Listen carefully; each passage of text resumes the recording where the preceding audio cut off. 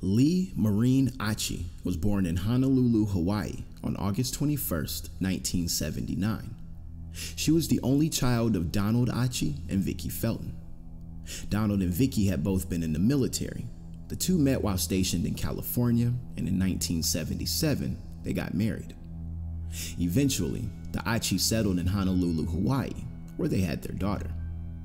They would live in Hawaii for a couple years, but the marriage didn't last long. By 1981, the couple had divorced. Following this, Donald was relocated to Germany, where he continued to serve in the military. Meanwhile, Vicky chose to leave the armed forces. She instead moved to Tupelo, Mississippi, and took Leigh along with her. Tupelo, Mississippi is about three hours north of the state's capital. Most of the city's residents are families. For the most part, it's a safe place to live. Vicki had family here, and she felt it was the perfect place for her and her daughter to start a new life. Despite the distance between Leigh and her father, the two remained very close. Leigh would often take trips to Germany and spend time with her dad. She became very familiar with the German culture, and she'd even learned a bit of the language. In 1991, Donald chose to move back to the US. He settled in Fort Myer, Virginia. This was still a 13 hour drive from Tupelo, but it was a lot closer than Germany. Family describes Leigh as bubbly and energetic. Her favorite food was pizza, and she absolutely loved horses. Leigh never missed a chance to try something new. She and her dad would visit the shooting range and go four wheeling. Most girls her age wouldn't want to spend a day splashing around in the mud, but this didn't bother Leigh one bit. Her parents say that she was adventurous and always kept an open mind. Leigh would spend her junior high years at Tupelo Middle School. She was a good student and did especially well in math. According to the teachers, she was kind and sociable. By the summer of 1992, Leigh was preparing to start the eighth grade. She didn't have a care in the world, and for the time being, life was good. In August of 1992, Leigh would celebrate her 13th birthday. School hadn't started just yet, so she was still enjoying her vacation. Leigh spent most of her time horseback riding and hanging with friends and family. By this time, she and her mother Vicki lived at 105 Honey Locust Drive. The small ranch style home sat at the end of a cul de sac, and for a while, the house had a third resident. Vicki had been remarried to a man named Barney Yarborough. The marriage lasted a few years, but ultimately, they called it quits. The two separated a few weeks before Leigh's 13th birthday. Barney moved out of the house and got his own place.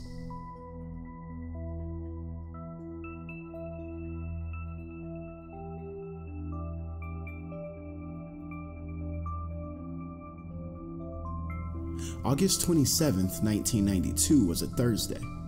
Vicki woke up around 6:45 a.m. She saw that Leigh was still asleep. She went outside to grab the newspaper and got a breath of fresh air. When she came back inside, Leigh was now awake. The two sat down for breakfast and talked about their plans for the day. Leigh was set to attend an open house at her middle school that day. Her grandmother would be taking her. Later that evening, she and Vicki planned to have dinner at Taco Bell. Just before 7:45 a.m., Vicki left for work. Her job was at a manufacturing company. The building was just one and a half miles from Honey Locust Drive. She had left for work many times, but today was different. Leigh was now 13, and Vicki had decided to give her a bit of independence. For the first time ever, she was leaving her daughter home alone. Leigh had always been responsible, so Vicki felt there wasn't much risk. Plus, she would be close by and could call the house from work. Vicki kissed her daughter goodbye and left out.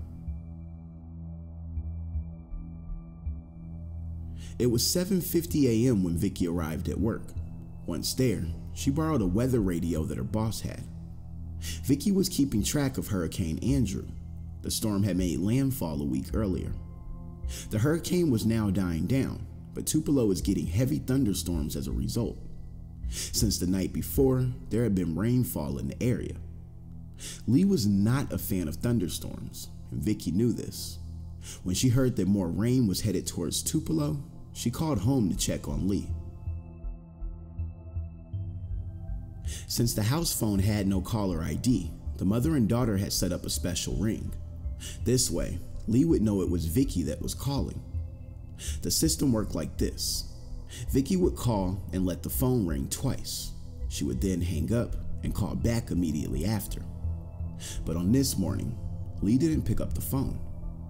The special ring was tried once more, but there was still no answer. Vicky became concerned almost immediately. Something just didn't feel right. She had just left home and Leigh was perfectly fine. What could be keeping her from answering the phone now? Vicky decided it was best to run back home and check on her daughter, just in case.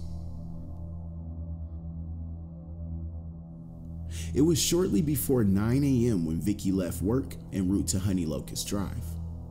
When she arrived back home, she noticed that the garage door was up and its lights had been activated. The light was set to stay on for only five minutes after the garage door was let up. This meant that someone had opened the garage door within the last few minutes. When Vicky reached the front door, she found that it was unlocked. As she turned the knob and entered the house, she found a disturbing scene. Vicky could see a pool of blood on the living room floor. This was accompanied by blood splatter on a wall close by. Of course, this threw Vicky into a panic. She began calling her daughter's name and frantically searching the house. When she reached Leigh's room, she saw the child's favorite blanket crumpled up and thrown on the floor. Realizing her daughter was nowhere in the house, Vicky called the local police and reported Leigh missing. When local PD arrived, they conducted their own search of the house. This turned up even more evidence of violence. In addition to the blood that Vicky found, there was also blood in Leigh's bedroom, the master bedroom, and the upstairs bathroom. What police didn't find was evidence of a forced entry. Now, Vicky says that she's positive she locked the door before she headed to work. As we mentioned, she found the door unlocked when she got back home. This led to the idea that Leigh willingly let her attack her into the house. It seemed that the situation was becoming stranger by the minute. What police did know was that Leigh Occhi was still missing. On the same day that they received the report, a search of the area was conducted. Between 10 and 12 officers were assigned to the search near Honey Locust Drive. They brought in canines and combed the area for one and a half miles in each direction. The team searched through a heavily wooded area near the home. They also searched the nearby drainage ditch and local landfill. The initial search efforts were made difficult. Due to rainstorms passing in the area, the canine dogs were never able to pick up a scent. Within a couple days, the search grew even bigger. Citizens of Tupelo were now assisting, and police had helicopters scouring the area. Instead of just looking near Honey Locust Drive, the search had now expanded to include the entire city. Many participants began to feel that they were now looking for human remains, not a living person. As the weeks passed, even more effort was put forth to find the missing teen. A $1,000 reward was offered for any information that could lead to Leigh. Eventually, that amount was increased to $2,000. Police had even set up a special team to dig into the case. It was comprised of at least 12 investigators, all dedicated to solving the tragic mystery. Leigh's mother, Vicky, had also taken some action.